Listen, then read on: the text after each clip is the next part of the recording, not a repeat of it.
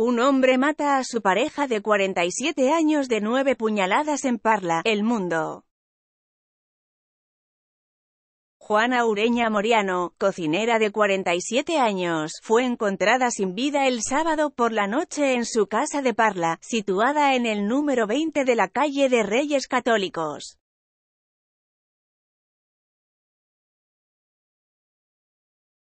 Llevaba muerta entre tres y cuatro días y tenía nueve puñaladas y múltiples golpes por todo el cuerpo, según la policía.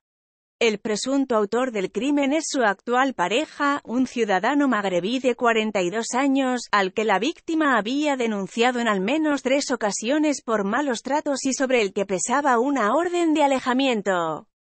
Cuenta con 30 antecedentes policiales, uno de ellos por tentativa de homicidio en el año 2009.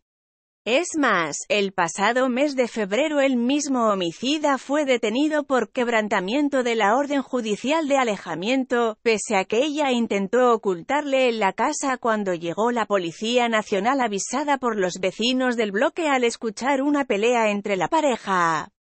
Fuentes municipales indicaron a EFE que la mujer estaba protegida por el protocolo de atención a las víctimas de violencia machista Biogen con nivel de riesgo bajo.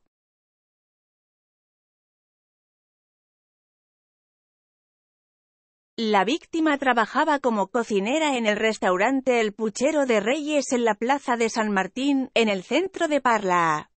Fue el jefe de la mujer fallecida el que dio la voz de alarma el sábado por la tarde y avisó a la Policía Nacional.